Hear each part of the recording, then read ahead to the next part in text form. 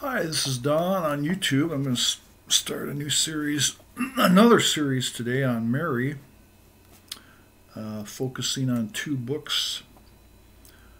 Uh, one of them is Mary, the Faithful Disciple by Bertrand Buby, particularly the chapter on, on uh, Mary and the Pauline writings. That's chapter 3. Then I'm going to look at part two of In Memory of Her, which I briefly described in the previous set of videos on Mary. Uh,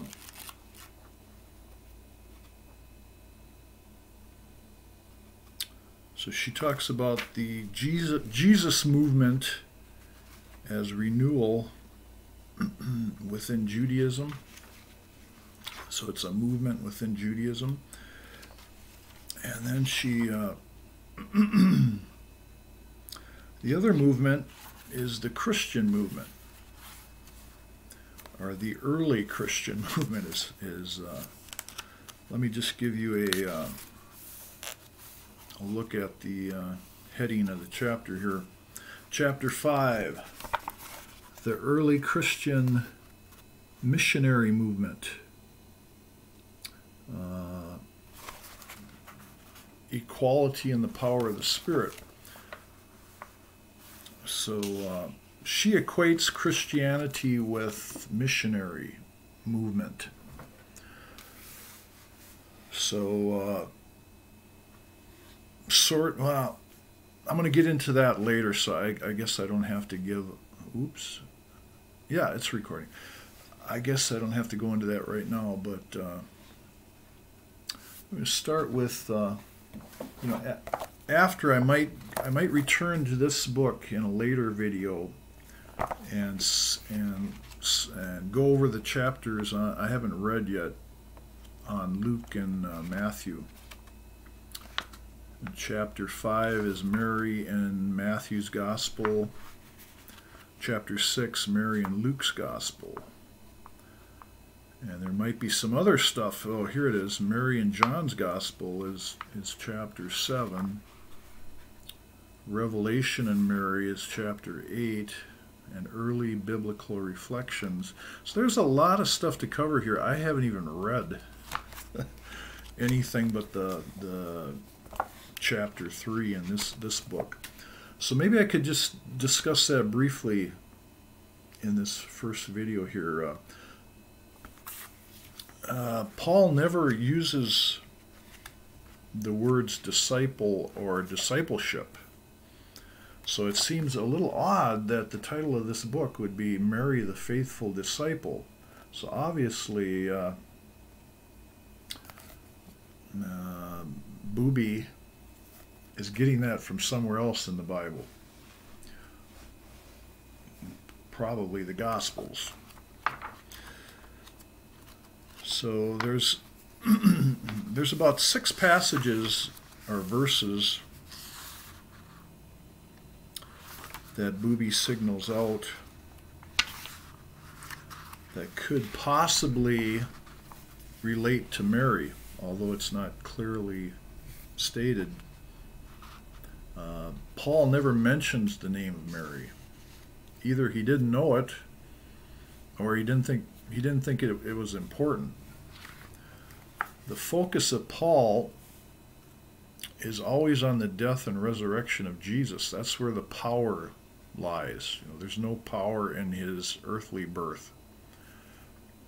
Is the impression I've gotten from these readings. So when Paul uh, speaks of of Mary, he's strictly speaking of her as a mother. He um, he's saying that Jesus had to be born of a Jewish woman.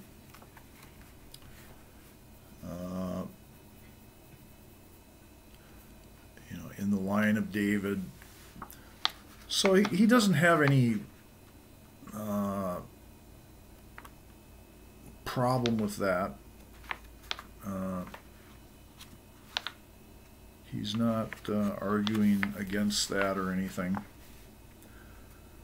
So uh, let me see these points again here. Uh,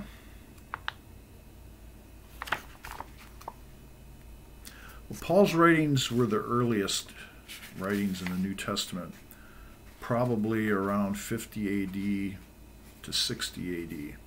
The Gospels came later. Uh,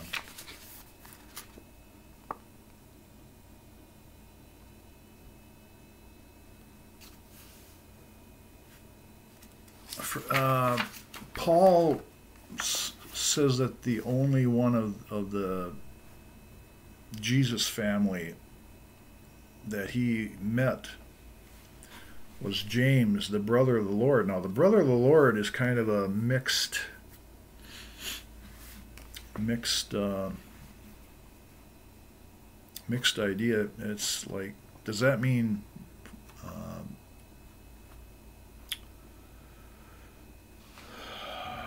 I'm, I'm blood relative, like a brother, or an actual brother that was born to Mary? Uh, or, or does it mean uh, uh, that Mary remarried and possibly this James was uh, a step step brother? Another possibility is that James was the disciple, the son of Alphaeus. Uh, some people believe that also. So, depending on which group you're in, people have different views on who James was. So when Paul says that he knew James, uh, the brother, it's, it's not totally clear who that's referring to. Uh, some of these other passages, like uh, talk about it, does not talking about Mary. It's talking about Jesus as he he uh, gave up his divinity or whatever to come to earth. Uh, in other words, he made himself a servant to all or whatever, rather than being Lord of all or something. So uh, when you when you look at Mary's Magnificat in the Gospels, it, it, she's she's a handmaid of the Lord. So in that way, they're kind of similar, but it, it doesn't have a direct connection there. It's just kind of showing how they were both of low birth. Uh, uh, they didn't uh, try to, to gain any glory for themselves. Anyways, uh, there's there's some other passages. I, I guess the best thing would just be to pick up a copy of this book and read it. But uh, Galatians 4 4, it says, But when the designated time, Chronos, had come, God sent forth his Son, born of a woman, born under the law, to deliver from the law those who were subjected to it, so that we might receive our status as adopted sons. Galatians 4 4 and 5. So here again, it's uh, the power comes from the resurrection. There, there's no power in Jesus being born of a woman. It's just fulfilling prophecy, whatever. So I think now we should get into the other book. Yeah, I like I said, there's about six verses that uh, Buby mentions. We could go through all of them, but